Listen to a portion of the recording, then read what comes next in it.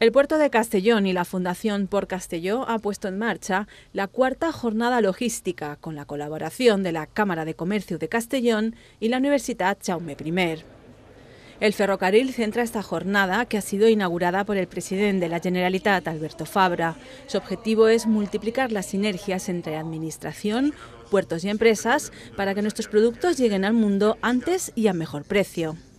Fabra ha indicado que las administraciones deben crear marcos que impulsen la competitividad, eliminando trabas e impulsando infraestructuras productivas. La colaboración público-privada va a ser fundamental en las nuevas infraestructuras. Y al igual que en otras ocasiones, el papel del empresario ha sido el aprovechar las infraestructuras que la Administración estaba haciendo para poder poner en valor la fuerza de una sociedad Ahora necesitamos la colaboración de las empresas para que nos ayuden a hacer solidariamente y conjuntamente infraestructuras y poderlas al servicio de la sociedad.